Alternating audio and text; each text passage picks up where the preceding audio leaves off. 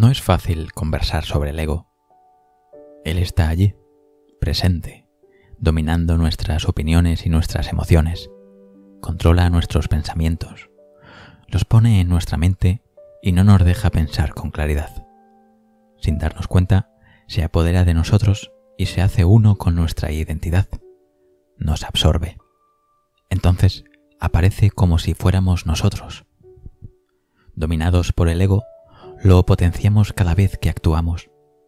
Es claro que intentará aniquilar todo intento de controlarlo, de anularlo.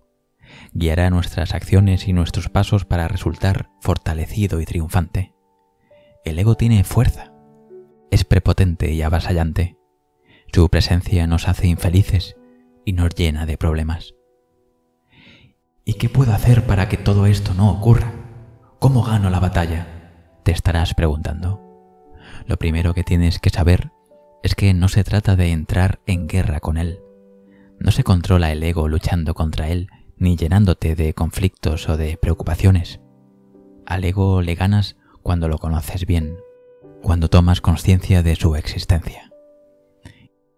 Iluminándolo con la luz de tu conciencia, muéstrale que sabes que está allí y que entiendes cómo actúa.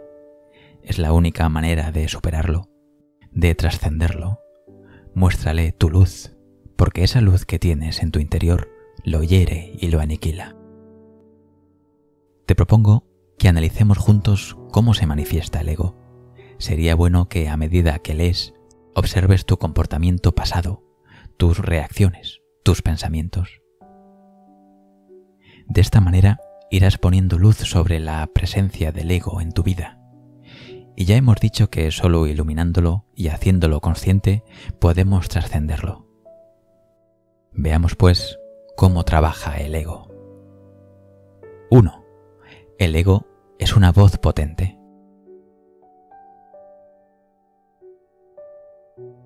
Una característica que define al ego es su identificación con la forma. ¿Qué son las formas? Este concepto no se refiere solo a objetos materiales, físicos, tangibles. Las formas son también pensamientos que surgen constantemente en la mente. El ego es esa voz que escuchas dentro de ti, que te envuelve y te mantiene en sus garras. Y esa voz te impulsa a conseguir sus objetivos sin importar nada más. Se apodera de tu mente y de tus emociones, y todo tu ser se inunda de un predominio del yo, que en realidad es predominio del ego porque el ego no eres tú, se ha adueñado de ti, y ese yo, que en realidad es el ego, te impide pensar en otra cosa o de otra manera. Siempre está en el centro de cada pensamiento, de cada recuerdo, de cada emoción, de cada opinión. Te hace reaccionar con el objetivo de mostrar que eres mejor, superior, más reconocido que los demás. Y te sientes superior a todo y a todos. No puedes salirte de ti mismo y ponerte en el lugar de otros. ¿Te pasa? ¿Reconoces estas condiciones en ti mismo? Pero no eres tú. Es el ego el que te manda, el que te domina. ¿Cómo te ven los demás? El ego muestra una imagen de ti arrogante, individualista y obstinada. Así procede el ego, y si lo dejas avanzar, te chupa, te absorbe totalmente. 2. El ego es un conjunto de creencias y emociones. Con creencias y emociones se forma el ego y de ellas se alimenta. ¿De dónde proceden estas creencias? ¿Cómo las adquieres? Se trata de creencias que la sociedad te inculca. Son ideas preconcebidas que se graban en tu ser desde que naces. Las adquieres en tu desarrollo desde niño y se enraizan en ti. De esas creencias se alimenta el ego. Los recuerdos y tu historia integran el ego. También forman el ego los roles que desempeñamos cuando trabajas. El ego te hace decir, yo soy empleado, gerente, médico, enfermera, educadora, conductor, mecánico. Y también forman el ego esos otros papeles que asumes en tu vida. Padre, madre, amigo. La nacionalidad, la religión, las creencias políticas son otras piezas que componen el ego. Agrega a todo esto las identificaciones y apegos a los objetos materiales, el querer lo que otro tiene, el no estar satisfecho con nada. El ego se beneficia en esta sociedad de consumo. Por eso provoca en las personas un deseo incontrolable de tener siempre más, de comprar más. Y este deseo se vuelve una obsesión y una enfermedad. El ego también se manifiesta por el apego al cuerpo. Ese apego genera el afán por la apariencia externa, que te lleva a extremos increíbles, porque crees que si te ven mejor, eres mejor y más feliz. Se trata del apego por el cuerpo, que te lleva a querer ser igual a los modelos que la sociedad impone en la publicidad y en las vidrieras. Entonces, te desesperas por estar delgado, por vestir a la moda, por llevar el cabello como marcan las tendencias. El ego te hace creer que puedes trascender la ley natural del cuerpo, que es envejecer, cambiar, marchitarse y al final morir. Entonces te niegas a aceptar que tienes canas, que has engordado un poco, que hay vestidos de moda que no te van bien. Te obsesionas por imitar a los modelos. Tu mente se trastorna porque el ego no la deja pensar con claridad en las leyes naturales de la vida y te enfermas. El ego te enferma. Reconocer la adicción del ego al cuerpo es sencillo y también es fácil trascenderlo, desarticularlo. ¿Cómo se logra? Liberándose de esa obsesión de tener la mejor apariencia y de lucir siempre joven. Resistir el dominio del ego en el apego al cuerpo no implica descuidarlo y dejar de atenderlo. No es eso. La alimentación equilibrada y la actividad física cuidan tu cuerpo. Sentirte bien con tu aspecto es bueno, pero el ego impulsa a excesos y eso es lo malo. Vivir obsesivamente pendiente del cuerpo, valorarlo constantemente como bello, feo, muy gordo o muy flaco, es sostener el dominio del ego. Ya no más juicios de valor, Basta de juzgarlo por la imagen del espejo, desde afuera. Ya no más mirarte a ti mismo con los ojos de los demás y correr tras los modelos.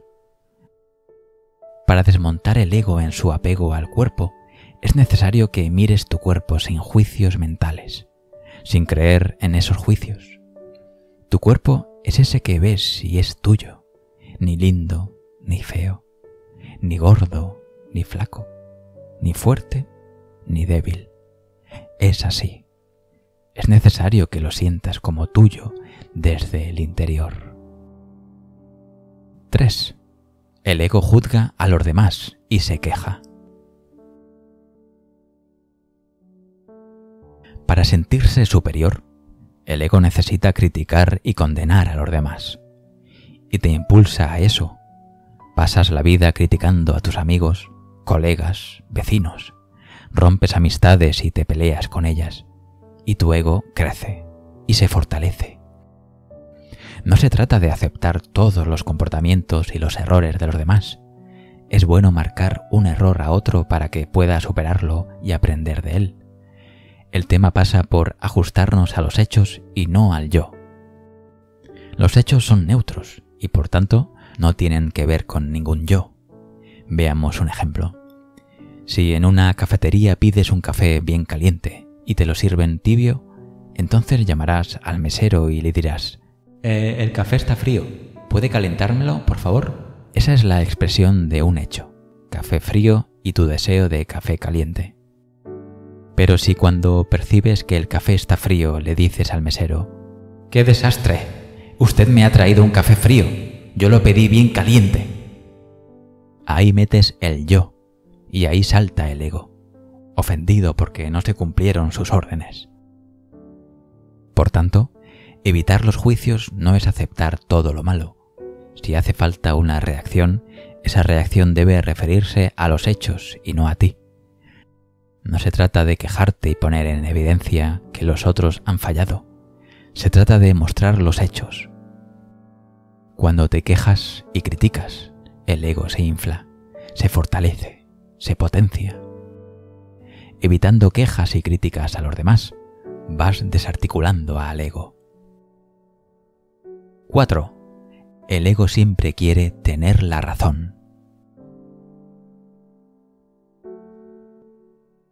El ego no soporta sentirse inferior, porque siempre está juzgando y comparándose con los demás. Tener la razón lo hace sentirse grande, todopoderoso.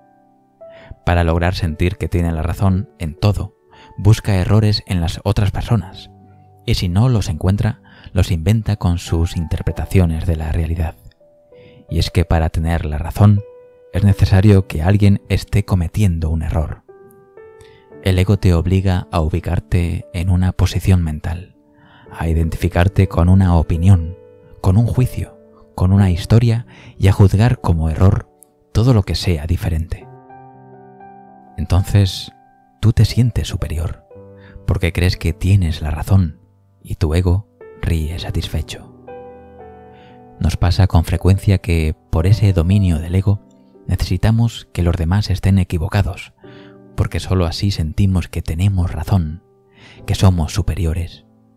Ahora bien, si actuamos refiriéndonos a los hechos tal como son, no dejamos que el ego intervenga, y eso está bien. Por ejemplo, afirmar que el planeta Tierra es parte del sistema solar es una afirmación en la que no interviene el ego. Es una verdad, un hecho que no depende de quien lo diga.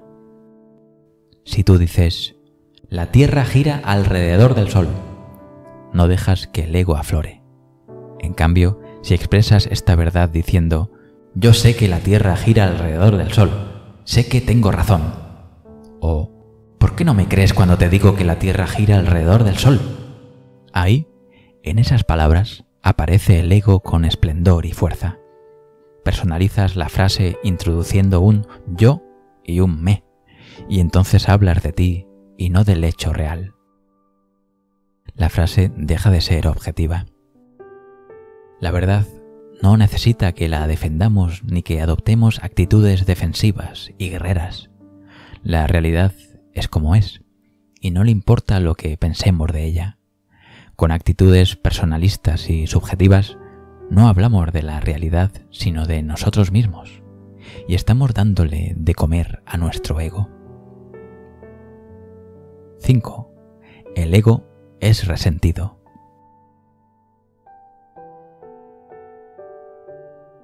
El resentimiento es la emoción que produce el ego cuando no está satisfecho.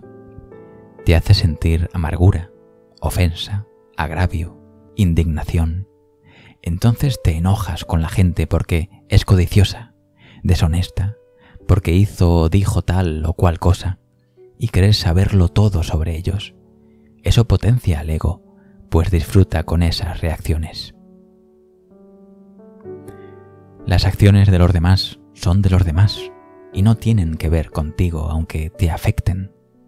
Es necesario reconocer que las otras personas también actúan movidas por sus egos. Entender que sus comportamientos son motivados por él te permitirá evitar reacciones. Si reaccionas, tu ego estará en lucha con los egos de esas otras personas, y nada bueno saldrá de esos enfrentamientos. Evitar reacciones no es síntoma de debilidad, todo lo contrario, hay que ser muy fuerte para superar la lucha de egos y aflojar tensiones. Para evitar reaccionar, debes mostrarle a tu ego que lo trasciendes, que no te domina. Una buena forma de apagar el poder del ego es observar a los demás y pensar en lo que te molesta de ellos.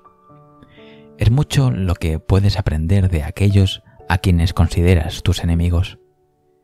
¿Qué es lo que te molesta de ellos? ¿Qué te enoja? ¿Es su egoísmo?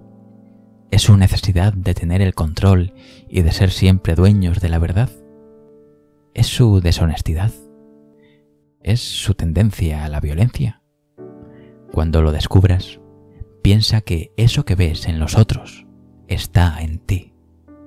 es parte de lo que tu ego hace en ti. El perdón es una buena forma de trascender el ego. Hablo del perdón genuino, del perdón que sientes naturalmente cuando entiendes que el resentimiento y el rencor son cosas del ego y a nada bueno conducen. 6. El ego es enemigo del momento presente. La conciencia del presente es la mejor herramienta para debilitar al ego. Cuando haces consciente el momento presente y reconoces que es el ego el que te hace reaccionar, estás impidiendo que te controle. Cuando te atrapas a ti mismo quejándote y te das cuenta de que es el ego que habla por ti, el ego se debilita. Cada vez que focalizas tu atención en ese presente en el que tu ego hace algo para controlarte, estás venciéndolo. Es así como te liberas del ego, es así como lo debilitas. Veamos entonces cómo desarticular al ego. Como puedes ver, el ego es un gran paquete. El contenido de ese paquete varía de una persona a otra, pero la estructura es la misma. En el fondo, todos los egos son iguales. Te invito a que reconozcas en ti estas cosas que integran el ego de las que hemos hablado. Recuerda que para trascenderlo hay que hacerlo consciente. Por tanto, puedes empezar ahora. Si en cada momento en que el ego intenta aparecer, tú tomas conciencia de él, lo estás trascendiendo. Si en el instante en que vas a reaccionar a algo que no te gustó, piensas que es el ego el que reacciona, lo debilitas. Hacerlo consciente, centrar la atención en el ego cada vez que aflora, es la forma de derrotarlo, de adormecerlo, de mostrarle que no te domina, que tú controlas tu vida. El ser humano tiende a creer que lo que el ego le muestra es la realidad, pero no lo es. Es solo una ilusión creada por él para controlar la vida de las personas. Por lo tanto, es necesario reconocer esa acción del ego para que esa ilusión falsa se desvanezca. Tienes en ti todo lo que necesitas para liberarte de su dominio.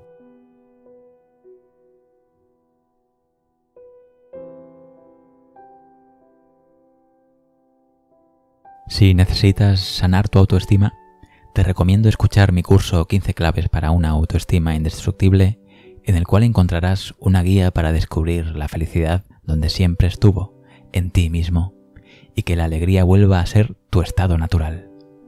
Puedes conseguirlo ahora haciendo clic en el enlace de la descripción de este vídeo donde dice acceso a mi curso.